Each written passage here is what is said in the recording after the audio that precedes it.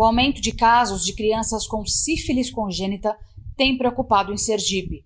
Dados apontam que de janeiro a setembro deste ano, 391 crianças nasceram com sífilis no estado.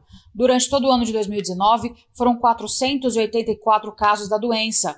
E em 2018, foram 330 registros em crianças. O infectologista referência técnica para doenças sexualmente transmissíveis da Secretaria Estadual da Saúde, Almir Santana, afirmou que a doença é um dos maiores problemas de saúde pública, principalmente quando se trata da sífilis congênita. O especialista acredita que este ano Sergipe ultrapasse os 400 casos e alcance assim o maior número de registros da doença de toda a história do estado. Os municípios com maior registro absoluto de casos de sífilis em crianças e em gestantes são Aracaju, Nossa Senhora do Socorro, Estância, Lagarto, São Cristóvão, Itabaiana e Barra dos Coqueiros.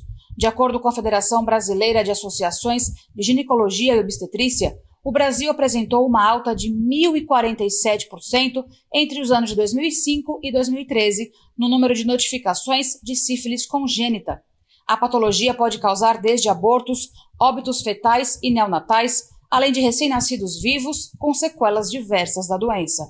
Uma das formas de evitar a patologia é a utilização de preservativos nas relações sexuais com as gestantes. Além disso, Almir Santana afirmou que os exames realizados durante o pré-natal são capazes de detectar a doença para que ela possa ser revertida e que o aumento de casos pode estar relacionado a falhas na realização do pré-natal. Voltaremos em breve com mais informações. TV Alese, Cidadania e Informação.